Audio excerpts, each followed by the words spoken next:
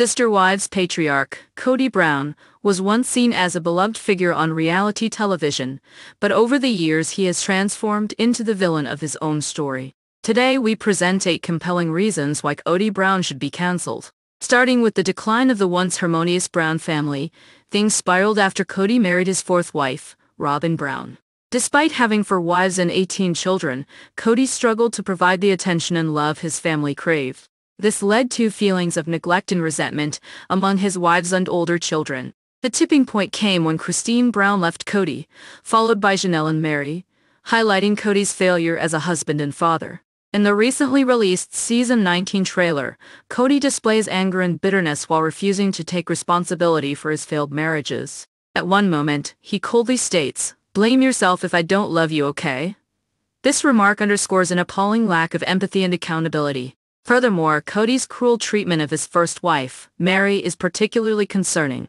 He has made devastating comments about his lack of attraction to her and even regret about their marriage, saying, It's not divorce that sucks, it's marrying the wrong person.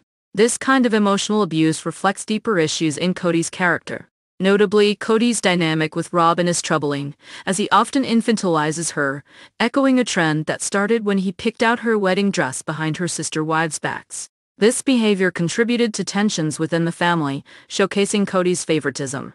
The impact of the COVID-19 pandemic further strained relationships, with Kody shunning his children for not adhering to his strict guidelines.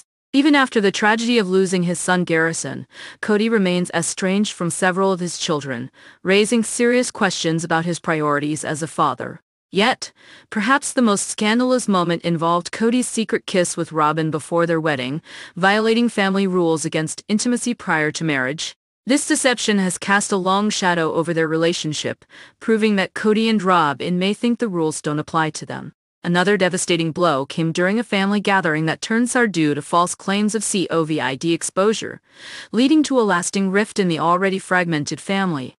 This incident, dubbed Nanny Gate, reveals Kody's manipulation and disappointing leadership as the family patriarch. As Kody's relationships crumble, it's clear that he has failed to uphold his responsibilities as a husband and father, ultimately leading to the unraveling of the Brown family unit. The blatant favoritism towards Robyn, the palpable pain of his wives, and his estrangement from children all serve as compelling evidence of why Kody Brown may deserve to be cancelled. With Sister Wives Season 19 now airing on TLC, viewers are left to question how Kody's narrative will evolve and whether any lessons will be learned from this tumultuous journey. The show's history serves as a cautionary tale of the complexities of plural marriages, and it remains to be seen if the patriarch can reclaim any semblance of respect in the eyes of his family and the audience.